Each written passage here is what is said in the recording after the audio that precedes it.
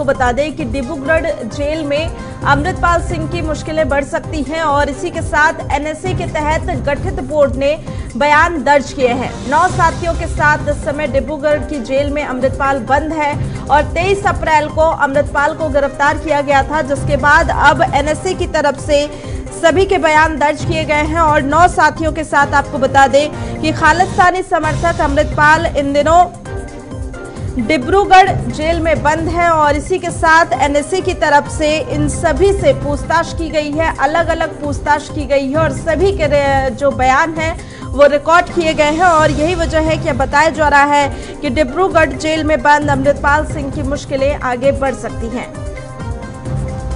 तो आपको बता दें कि अमृतपाल सिंह अपने नौ साथियों के साथ असम के डिब्रूगढ़ जेल में बंद है। अमृतपाल और उसके साथियों की गिरफ्तारी राष्ट्रीय सुरक्षा कानून के तहत की गई थी। मंगलवार को एनएसए बोर्ड के सदस्य असम की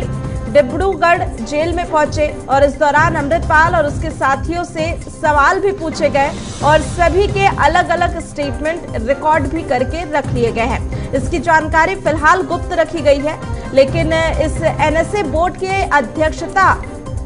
पूर्व हाईकोर्ट के रिटायर जस्टिस शाबीहुल हुसनैन कर रहे हैं। इसके अलावा बोर्ड के सदस्यों में